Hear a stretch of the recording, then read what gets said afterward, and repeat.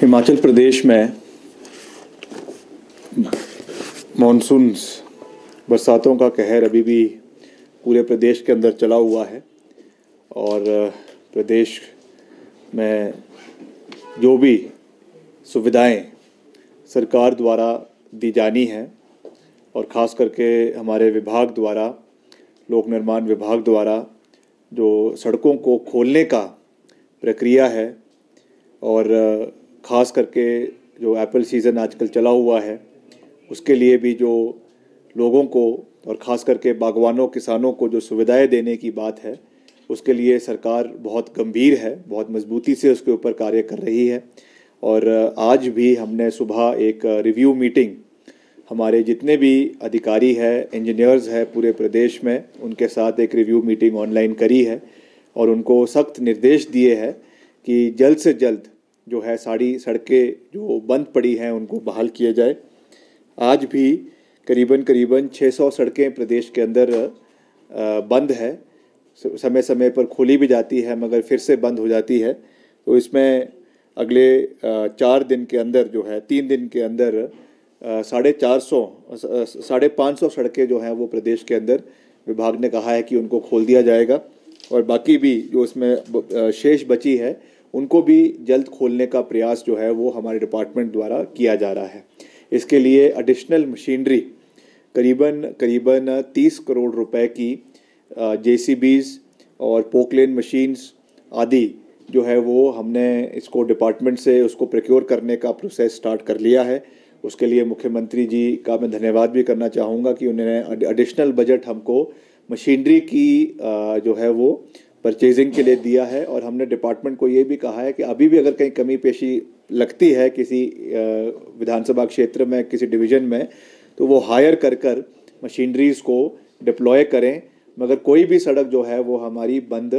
नहीं रहनी चाहिए। ये हमारी एक प्राथमिकता है जिसके ऊपर हम कार्य लगातार कर रहे हैं। मगर क्योंकि आपने देखा कि बहुत नुकसान जगह जगह पे हो रहा है लगातार वर्षाएँ प्रदेश के अंदर हो रही है, इसलिए कई जगहों पे कठिनाइयाँ भी आ रही है, कई जगहों पे रोड सिंकिन कर गया है, उसकी वजह से प्रॉब्लम्स आ रही है, कई जगहों पे नालियों की वजह से प्रॉब्लम आ रही है। तो इन सब चीज़ों से हम निपटने का प्रयास कर रहे हैं और मिलकर हम जो है वो अपने क्षेत्र के लोगों को, प्रदेश के लोगों को सुविधाएँ देने का पूरा प्रयास पहले भी किया है और आगे भी करेंगे। मैंने खुद अभी 15 अगस्त के कार्यक्रम के लिए मैं सिरमौर में था। उसके बाद हमने सिरमौर जिला के जो भी प्रभावित क्षेत्र हैं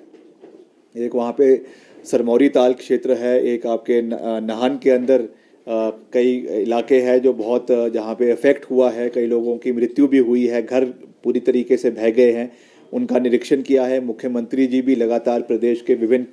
कोनों का, क्षेत्रों का दौरा कर रहे हैं और जहाँ जहाँ जो आवश्यकता है, उसके अनुसार जो है वो डिपार्टमेंट को निर्देश भी दे रहे हैं और उसके ऊपर काम भी हो रहा है। अपने विभाग की ओर से जो है वो केंद्र सरकार का धन्यवाद भी करना चाहता हूँ कि हिमाचल प्रदेश को आज एक अच्छी सौगात जो है वो एक ऐसे समय में मिली है जब प्रदेश आपदा से गुज़र रहा है। और हमारे विभाग को प्रधानमंत्री ग्राम सड़क योजना के तहत जो है 2600 करोड़ के लगभग जो है ये ये धनराशि करीबन 2400 से 2500 किलोमीटर सड़कों के अपग्रेडेशन के लिए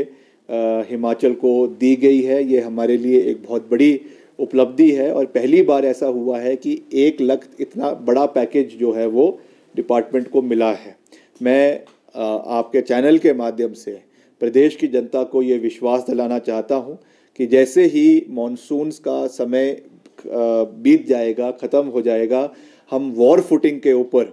पूरे प्रदेश में जो इसमें सड़कें चयनित की गई है, इस स्कीम के अंतर्गत उनको, उन पे कार्य किया जाएगा। और कार्य के साथ साथ एक चीज़ पे मैं बहुत ज़्यादा एम्फोसिस ले करना चाहता हूँ कि हम इसमें, मैंने आज सुबह अपने अधिकारियों को भी ये साफ़ निर्देश दिए हैं कि हमने इसमें जो है गुणवत्ता का क्वालिटी का ख्याल रखना है। क्योंकि कई जगहों पे जब हमने ग्राउंड ज़ीरो पर जाकर, बहुत जगहों पे हमने जो है वो रिव्यू लिया, क्यों इतना सड़क बैठ रही है डंगे बैठ रहे हैं? उसमें जो एक मुख्य कारण पाया गया, वो सड़कों में क्रॉस ड्रेनेज और कलवट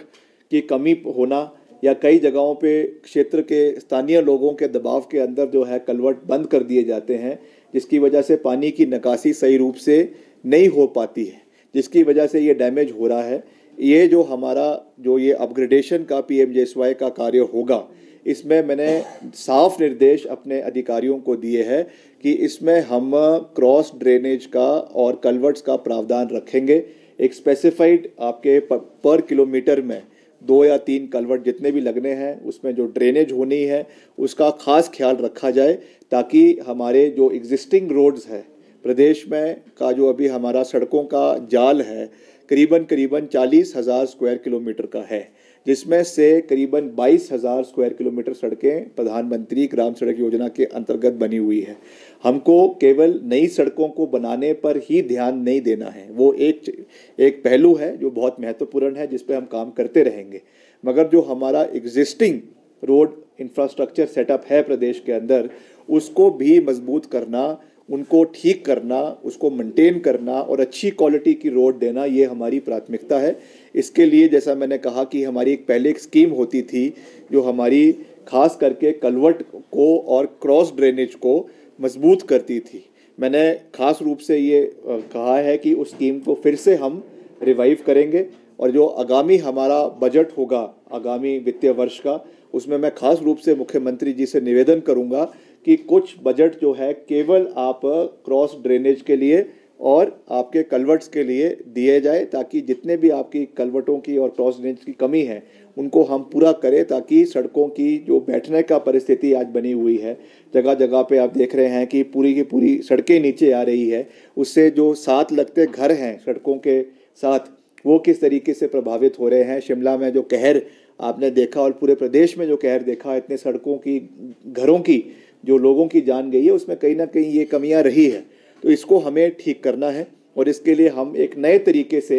जो है वो काम करेंगे। इसका मैं आपको पूरा विश्वास दिलाना चाहता हूँ।